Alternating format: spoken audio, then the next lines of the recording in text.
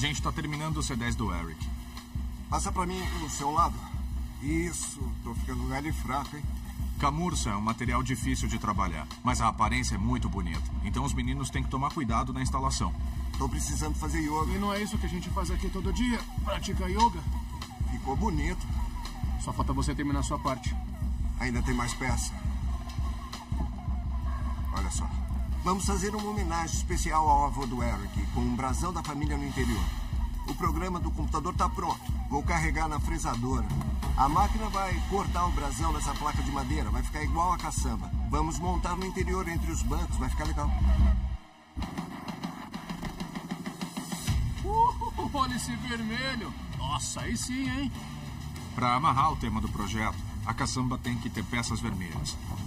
E tilhas prateadas, como a carroceria. Vamos montar essas peças e parar por hoje.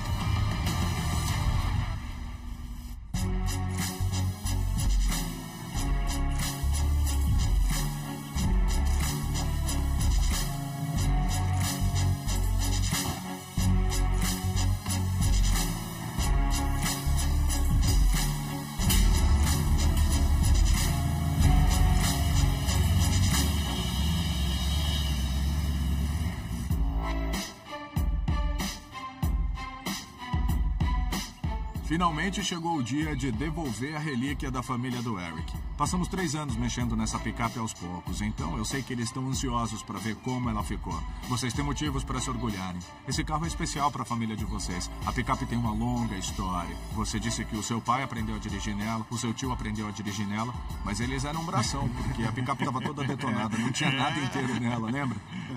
Foi uma honra pegar um pedaço da história da sua família, trabalhar em cima e criar um veículo muito especial para vocês. Eu não vejo a hora de ver a picape, Bill. Eu estou suando, ansioso, porque a gente esperou muito. É, a gente esperou muito. É, cadê a picape? Estão Por prontos que para tá ver? demorando tanto? Oh, olha!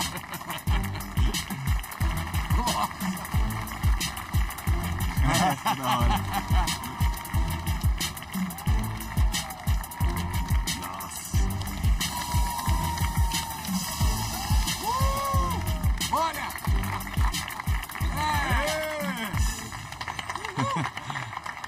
E aí, o que, que você achou? Ficou muito louco, ficou muito bom. Quando eu vi a picape chegando, eu nem consegui acreditar.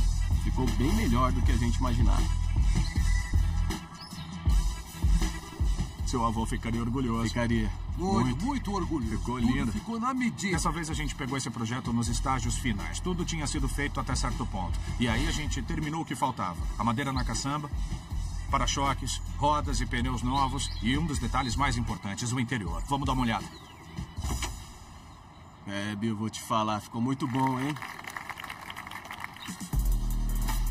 Quando eles abriram a porta e eu vi o interior pela primeira vez, eu fiquei sem palavras. Eu gostei como combinaram o vermelho do motor com o interior, fluindo até a caçamba. Parece que tudo foi feito sob medida. O acabamento em camurça ficou melhor do que o interior de uma Ferrari. Legal. Ó, eu tenho uma pergunta. O que veio primeiro, o interior ou os tênis? É que eu fiquei tão inspirado com esse interior que eu comprei um tênis vermelho. É isso aí. Planejamos muito esse interior. Fabricamos um painel sob medida. Tudo foi feito do zero, com madeira, fibra de vidro e muito suor. E ficou da hora, hein? As linhas fluem pelo interior, pelas portas, painéis de baixo, console. É como se fosse um conjunto inteiriço. E o mais importante, pusemos o brasão da sua família gravado na madeira. É, bom, muito Agora vocês legal. podem dar uma volta com a picape e lembrar do pai de vocês, do avô de vocês. Com certeza ele vai estar na picape. Ver o brasão da família na picape significa muito. Ela tem um grande papel na história da família e é bom trazê-la de volta pro lugar dela, que é junto com a gente. Obrigadão, Bill. A gente ficou emocionado de ver essa picape pronta. Vocês trabalharam bastante em tudo. Eu acho que ninguém esperava um resultado tão bom. Agora a gente pode começar uma nova história com ela. Obrigadão por tudo.